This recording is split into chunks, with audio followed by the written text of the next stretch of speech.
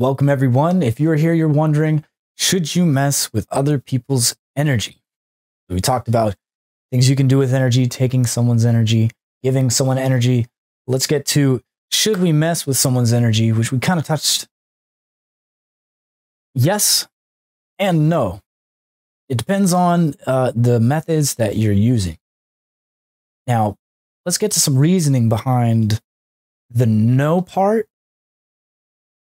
When you take somebody's energy, there are there are um, morals and universal laws associated with that. There are karmic things associated with taking someone's energy. It depends on exactly what you're doing, how you're doing it.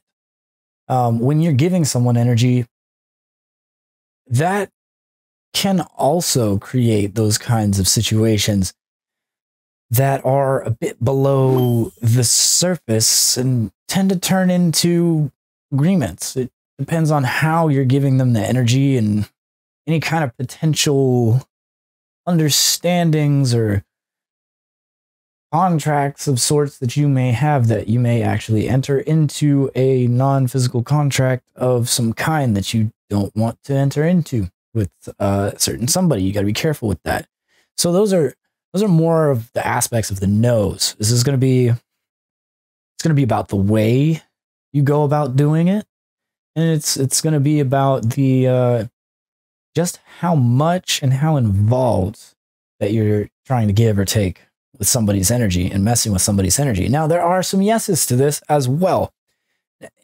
Innately, if that's the correct word, I'm not 100% sure on that.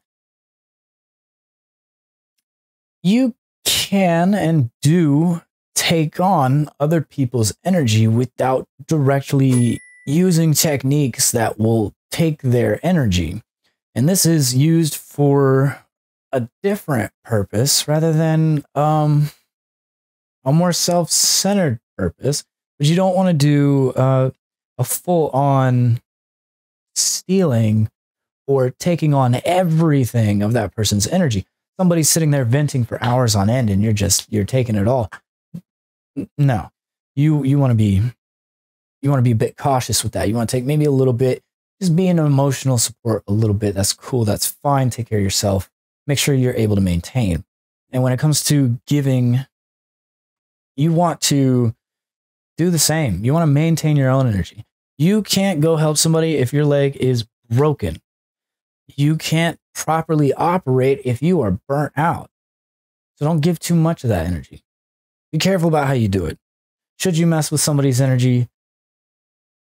Most of the time, not in that direct manner, the other portion where I would say, yes, it's okay to mess with somebody's energy is more of giving your your presence, which is a form of energy, and being that that uh that listener.